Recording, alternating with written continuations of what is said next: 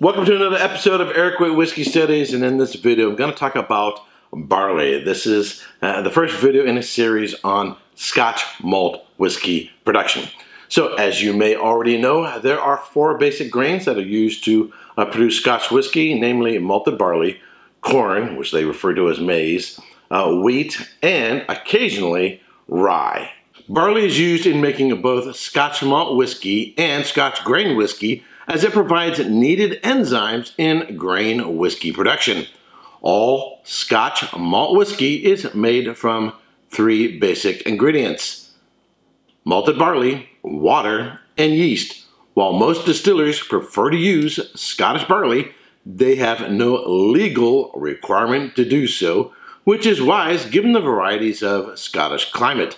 Most distillers believe the variety does not have any impact on flavor, although some believe a strain called Golden Promise does impart a certain mouthfeel to their spirit. Barley is the most widely adapted cereal in the world, grown closer to the poles and at higher elevations than any other cereal. Barley is a cool climate crop cultivated in the spring and summer. Barley grows best on well-drained soil in relatively cool conditions, especially cool nights, and with 500 to 1,000 millimeter, or 20 to 40 inches, of annual rainfall. Barley is considered to be the most drought and salinity tolerant of all the small grains. Although barley is widely adapted, yields vary widely based on climate and soils. The best non-irrigated growing conditions in the world are in northern and central Europe, typically a cooler climate region with adequate natural rainfall. So while there's barley grown on Islay and the western side of Scotland, uh, it doesn't grow as well on, as on the eastern side of Scotland and all the way down into England. So if a distillery in Scotland uses 100% malted barley from Scotland, usually it's coming from the east coast, as the west coast is far too uh, damp. Also, it's noted that uh, some local barleys on the west side, from the west side, can be a little bit more challenging to mill because due to the climate, the barley tends to be really, really, really small. Springbank, for example, does a local barley and they have to make special adjustments to the mill uh, uh, in order to adequately uh, grind it or mill it. And so it can be a little more fussy uh, in milling. Most conversations I've heard on the topic of barley strains tend to emphasize the grain's ability to produce starch, sugar, and thus a greater volume of alcohol, not any particular flavors they contribute to the spirit. And this is a highly debated topic. You know, uh, the whole subject of terroir, uh, Mark Reynier, who used to be at uh, Bruichladdich Distillery, now at Waterford on Ireland, has done these experiments in which he has demonstrated that different fields with different aspects to the sun uh, result in different flavor flavoristics. Flavoristics, flavor characteristics, or flavoristics as I like to call it, uh, in the barley. The challenge though is, uh, while as a primary flavor coming from the barley, fermentation, whether you go long or short, can have huge impact on the barley. Shorter is maltier and nuttier. Longer, more fruity and floral. And what kind of yeast you use, and whether you use uh, a lauter mash tun or a rake and plow, and on and on. And then distillation, of course, whether or not it's peated, and then aging, and then the cask. Casks provide 60, 70, somewhere in that range, depending on how much time and what type of cask it's been in, uh, uh, the flavors.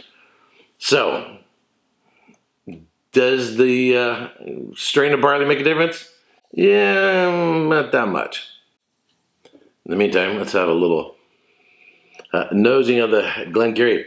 So, I have read Glengarry may be doing some changes and actually reinstituting their malting floor. Currently, there are eight distillers with malting floors, only Springbank doing 100% of their own malted barley from the malting floor but Glengarry may be reviving their malting floor. We'll see how that goes. There is a view that barley does not have a huge influence on the final state of the whiskey, and that the key contribution a barley strain makes is in the amount of liters of alcohol each ton of grain yields. But some distillers do not share this view and are investing time and effort resurrecting older strains of barley that are not as high yielding as modern strains, but that they believe make for a higher quality malt spirit. However, most distilleries believe that the variety does not have an impact on flavor, although some do feel that a strain called Golden Promise does impart a different mouthfeel in their spirit. According to the Scottish Barley Database, there are at least 682 different varieties or strains of barley, but only 10 strains are presently approved for use in Scotch whiskey production by the Institute of Brewing and Distilling. So the 10 varieties that are typically approved um, or recognized change every year. They tend to test them to see what the starch yield is like and for disease resistant. So it's basically, hey, what are the top 10 uh, barley strains for this particular year? And so what they're currently using may change. Some varieties of barley are rejected for malting, usually due to high protein content. These are often grown to produce other grain products or used as feed for livestock. New barley varieties are continuously being tested in the pursuit of higher yields, while lower yield varieties such as Oxbridge, Prisma, Chariot, Triumph, and Golden Promise are rarely used. As these strains were all developed from the same original barley, Hordeum distichon, as in Latin, they're all very similar in flavor, so changing the variety has little effect on the flavor of the finished whiskey. Most of the barley used in Scotch whiskey production is grown on the Scottish and English East Coast, where the light sandy soils and lower rainfall provide ideal growing conditions. Spring barley is typically sown from December until late April, and due to being fairly frost sensitive, it is sown later in Scotland than in the more clement areas of England. While some distillers only use Scottish grown barley, there is not enough barley grown in Scotland to meet the requirements of the country's whiskey industry. Consequently, barley is routinely purchased from England, other parts of Europe, and Canada. I did a review of the Glengarry 12 year old. Really, really nice. It's sweet up front, a little bit more savory on, on the back end. Typical sherry notes in terms of like dried oranges, but they get a real nice sort of uh, Tootsie Roll chocolate in, the center. It has a nice creamy texture mouthfeel. Can be challenging to find some time, but I really, really like this whiskey. Two row versus six row barley. Barley tends to be divided into two general categories spring barley and winter barley, and be either two or six row. Malt whiskey distillers seek barley strains with a low nitrogen content that is high in starch, large grain size, good enzyme potential, and has the ability to germinate. They also want barley that is easily malted, so maltsters prefer two row to six row barley due to its more consistent grain size. Two row spring barley also has a lower protein content than six row barley so it contains more starch. The starch content reduces as the protein content increases. The level of nitrogen in the grain indicates the percentage of protein present, so malt whiskey distillers favor strains with a low nitrogen content, usually specifying between 1.2 to 1.65% by weight, with a 1.5% considered optimum. A high starch content is required as this will be converted to sugar to fuel fermentation.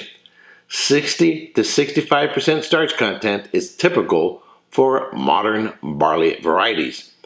Conversely, high nitrogen barley is used in the production of grain whiskey or as animal feed. Distillers also prefer barley with high diastatic power also known as diastatic activity or enzymatic power, which refers to the amount of enzymes produced during germination, particularly alpha and beta amylase, which convert starch into sugar, so allowing sugars to be extracted from the starch in the barley during, during mashing.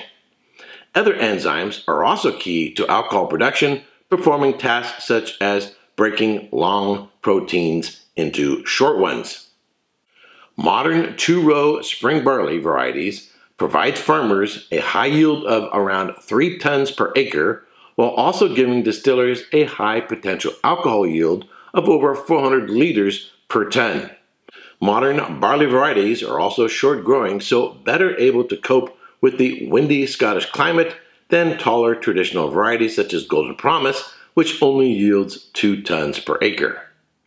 Typically, spring barley varieties produce 19 to 24 grains per ear, fewer than in winter barley, resulting in yields about 20% less, although the difference is smaller in barley varieties grown in the north of Great Britain than in the south.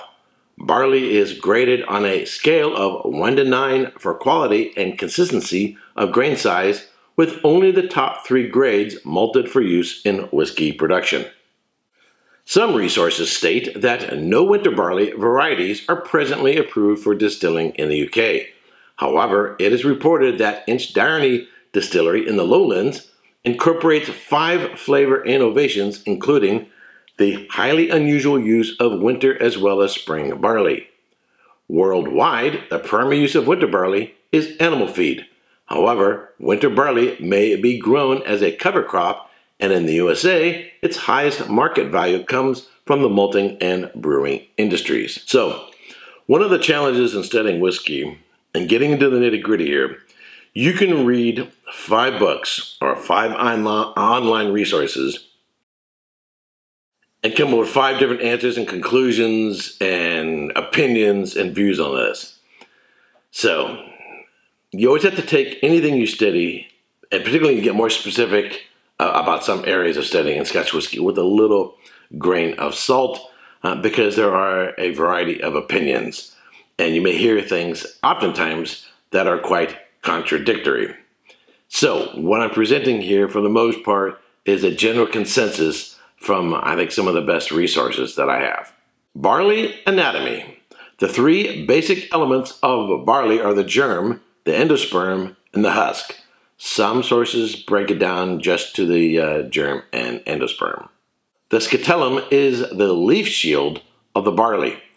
During steeping, water enters the germ and into the aleurone layer, which produces an enzyme, synthase, that breaks down the cell walls in the endosperm, which makes starch available for growth.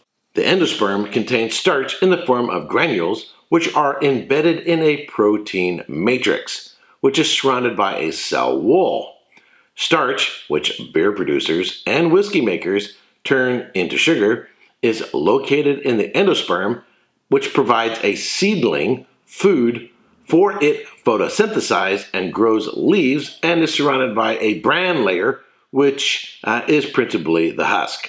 So if you take your hand and you go like this, you basically have the shape of a barley strain. So water comes into the front. On the outside of the barley strain uh, is the husk.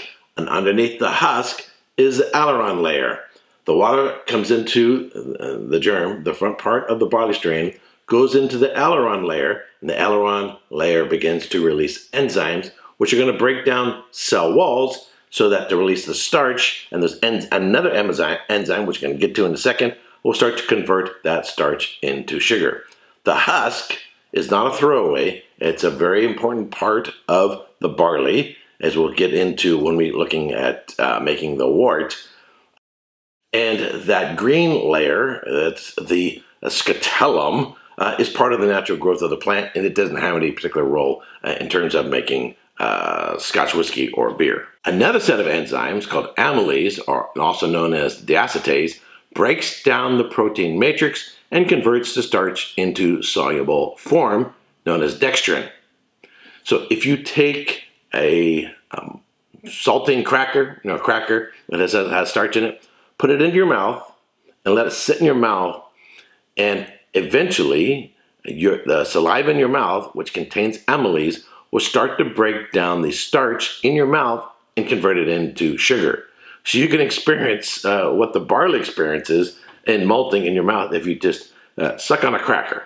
The dextrin is then turned into sugar water, or wort, which is then fermented to become a beer and then distilled. Steeping the barley. When the barley arrives at the distillery, it has about 12 to 14% moisture content. The water content needs to be increased, so the barley is steeped in water for 48 hours, with varying periods of being in and out of the water. After steeping, the water content is about 42 to 45% moisture content. It is then ready for malting. Malting the barley. In malting, the enzymes break down the cell walls and break open the protein matrix and create enough enzymes to turn starch into sugar. Before the growing plant consumes all of the glucose, the growth is stopped by kilning. Otherwise, all of the glucose would be consumed.